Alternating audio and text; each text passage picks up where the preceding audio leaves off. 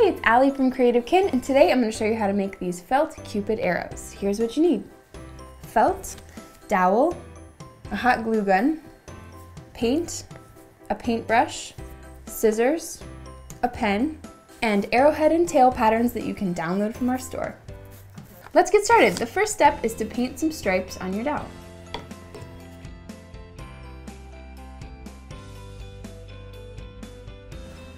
Make sure you leave space on either end of your dowel for your arrowhead and tail.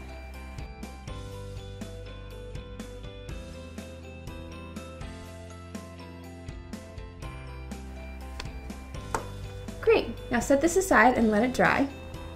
And grab your patterns. We're gonna trace these onto felt. Grab a piece of felt and fold it in half and place your patterns on top. Then take a pen and just trace around them.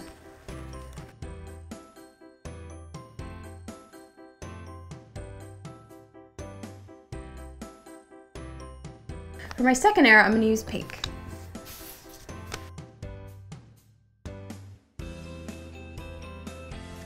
Great, now cut them out.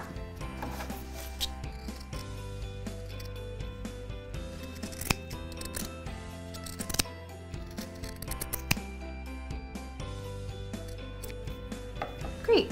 Once your arrowheads and tails are cut out, grab a dowel and we're gonna sandwich it between our felt pieces.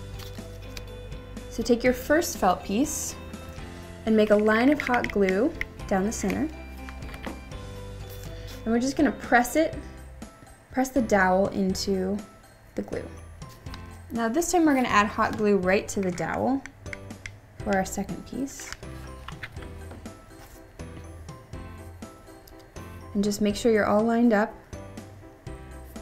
and press it down. Now we'll finish the arrowhead by sealing the edges with hot glue.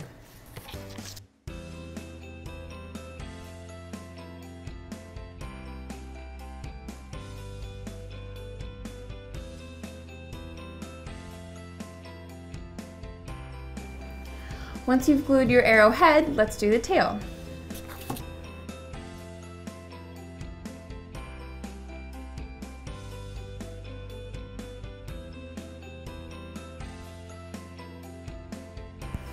To seal your tail, peel back your two pieces of felt and make a line of hot glue right on the dowel.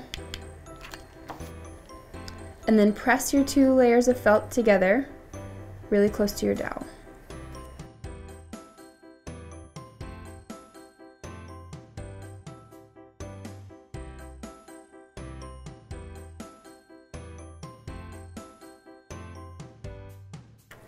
The last step is to trim some fringe into your arrow tail.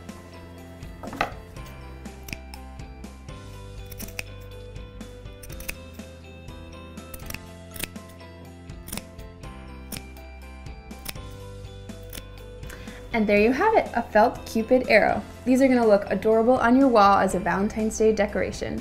If you haven't already, subscribe here and be sure to find us on Instagram and Twitter at CreativeKinBlog. Thanks so much for watching, now go get crafty.